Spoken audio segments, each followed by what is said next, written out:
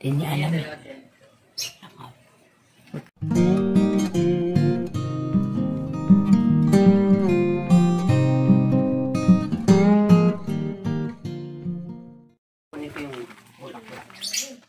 Okay.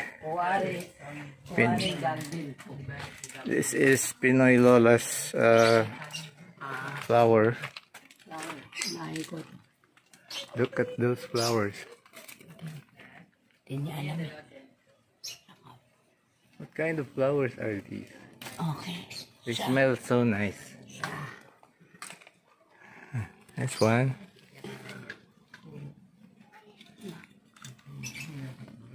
Oh, there's another one.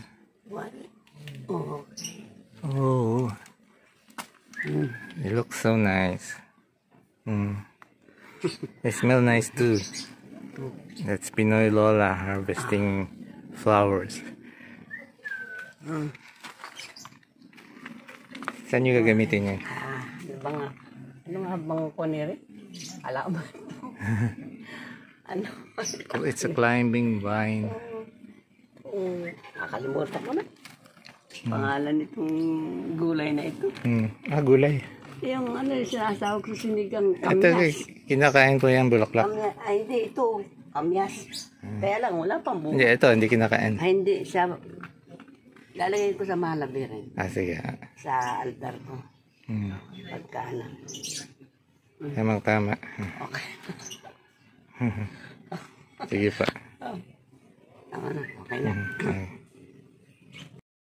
Sa altar. Na ano. Oh, gusto mo. Unang nung paglagay ko sa altar. Sige Kaya po. lang magulo pa doon. Okay lang nga. Ah, may- Ah. Hindi ka. Sa natila pa.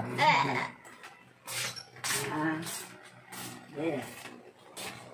Sa mahal na birhen. Hmm. Sa, sa Kristong Hari.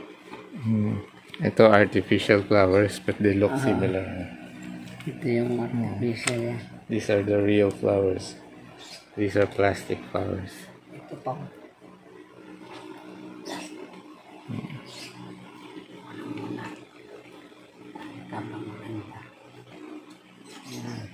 Yeah, there you go. So nice. Okay. Nice.